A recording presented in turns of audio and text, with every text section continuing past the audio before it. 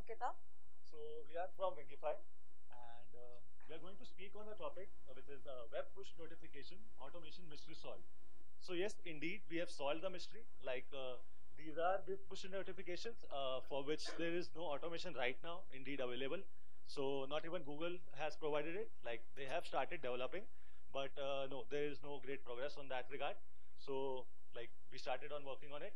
So uh, what we'll do is we'll demo our uh, tool as well as I'll just quickly run down uh, of the agenda, like what all we'll be covering. So uh, how many of you are having uh, knowledge about web push notifications?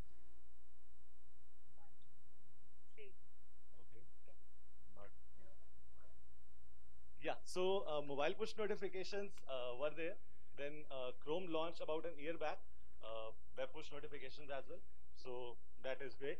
So we'll be uh, discussing what are push notifications, uh, the concept behind it, that is the service workers, then testing those notifications, our tool PushNot and its demo, and its further scope. So talking about push notifications.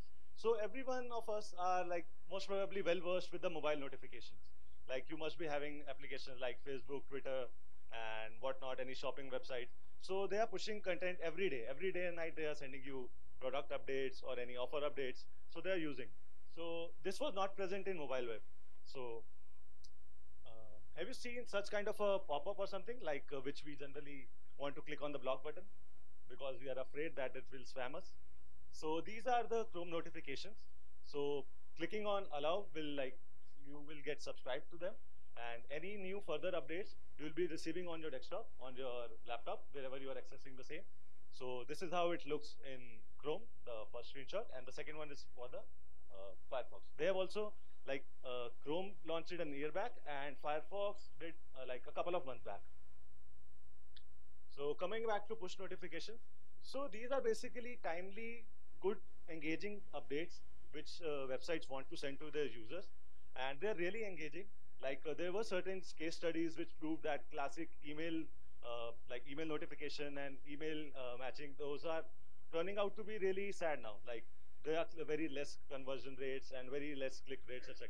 But push notifications, they know that a person is accessing his browser, and once it is subscribed, so even uh, websites like uh, you know uh, leading newspapers, HinduTimes.com, Times of India, and whatnot. So they all are these days using push notifications. So one major advantage is that your browser should not be open. Like uh, if it is open, it's fine. But once you have subscribed to them, there is no need uh, for the browser to be open. Just like